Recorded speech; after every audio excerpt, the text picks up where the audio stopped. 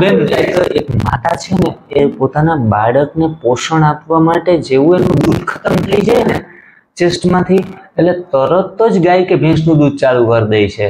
એ મોટામાં મોટી highly ignorance in the world પારકી માતાનું દૂધ છે એ બીમારી સિવાય બાળકને કાંઈ આપતું નથી. એક એક મહિને ડૉક્ટર પાસે ઊભા હોય છે. મારા દીકરાને શરદી થઈ ગઈ મારા દીકરાને કફ થઈ ગયો નાશ આપો મારા બાળકને. કારણ કે પ્રાણીજન્ય દૂધ છે ને એ વાયુ, પિત્ત અને કફ ઇન્સ્ટન્ટ ક્રિએટ કરી દે. અને જે લોકો એસિડિટીના પ્રોબ્લેમ હોય ને એ દૂધથી શાંત કરતા હોય એસિડિટીને ઠંડક પહોંચાડતા હોય.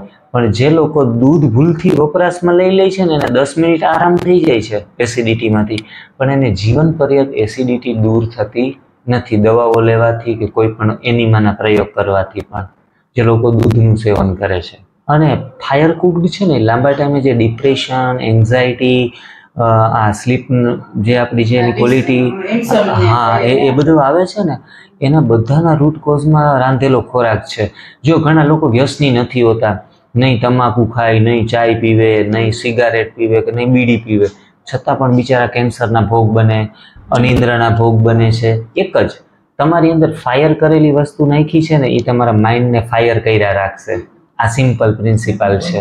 ગરમ પાણી છે ને એ જાશે ને એટલે ગરમ પાણીનું કામ એવું છે કોઈ પણ વસ્તુ ચીકણી કે વધારે વાસણ ચીકણા થઈ ગયા તો આપણે ગરમ પાણીનો ઉપયોગ કરીએ છીએ.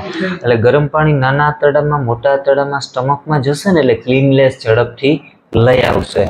પણ in the long duration it will risky પણ એ એટલે it's not a warm, it's a just Light- warm. It's light not a cold ah, હા. warm. હા, હા. It's a, it's a હા. warm. It's not a હા hot water. લાગે અને જ્યારે તમે છે ને હા.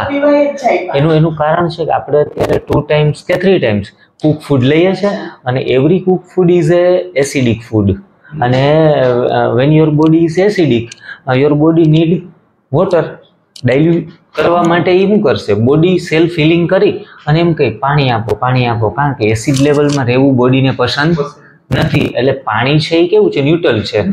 જેવું નાખશું ને, એ બધું શરીરનું લેવલ ન્યુટ્રલ થવા લાગશે. કે ગરમ કરેલી વસ્તુ કોઈ પણ ન ખાવી, ન પીવી. એટલે આપણા માટે સવારે ગરમ પાણી એલાવ ન હોય. હવે રહી વાત સવારે તરસ લાગવાની, તો પંદર દિવસમાં જેવું એનડીએસ ફોલો કરીએ એટલે બોડી આલ્કલાઇન થઈ જાય. પીએચ વેલ્યુ આલ્કલાઇન બની જાય, સવારે તરસ લાગવાની બંધ થઈ જાય. એસિડ લેવલ ઘટે તો પછી પ્રોબ્લેમ જાય. ત્રીજા નંબરમાં છતાં પણ આપણે ખૂબ બોયલા ખૂબ કામ કર્યું, પરસેવામાં, તડકામાં ગયા, પરસેવો વળ્યો ને પાણીની ડિમાન્ડ ઊભી થઈ. તો પાણીની આપણે એ ફૂલફિલ ના કરી, તો શું ડિહાઇડ્રેશન થઈ શકે? તો કે ના, સવારે પાંચસો એમએલ હજાર એમએલ પાણી જે તમે ઇન્ટેક કરો છો એની થ્રુ તો તમારું બોડી છે ને એ હંડ્રેડ પર્સન્ટ આઉટપુટ નથી આપતું. એનાથી ફાઈવ પર્સન્ટ ટેન પર્સન્ટ મોટું આતરડું એબ્સોર્બ કરી લે છે. એટલે શરીરમાં જ્યાં જ્યાં પાણીની નીડ છે, ત્યાં તમારી સંતોષાઈ જશે. અને પછી અમુક ટાઈમ પછી સારા સારા યોગીઓ, સાધકો જે એનીમાં વાપરતા નથી. તો એવા લોકો આઠ કલાકનો ઉપવાસ કરે છે, તો એ ગરમીમાં જાય છે, તો એને ડિહાઇડ્રેટ નથી થતું? તો કે ના કારણ કે યોગી છે ને, આપણા શરીરની કેપેસિટી આપણને ખબર નથી. શરીર પોતે વાતાવરણમાંથી એ તત્વોને ગ્રહણ કરી શકે છે. જેમ કે અગ્નિ તત્વની જરૂર પડી, તમારી પાસે કેળા, સફરજન ખાવા નથી, તો એ સૂર્યના તડકામાંથી અગ્નિ તત્વ શરીર પોતેની સાથે એડજસ્ટ થઈને ગ્રહણ કરે છે. વાયુ તત્વ પણ સીધું ચામડી વાટે ગ્રહણ કરી લે. પછી આકાશ તત્વ ખાલી પોતો એમને એમ ગ્રહણ કરે. પૃથ્વી તત્વ તમે જમીનમાં ખુલ્લા પગે ચાલો તો અનાજ ખાવાની જરૂર ના પડે. સીધું પૃથ્વી તત્વ લઈ લે ત્યાંથી.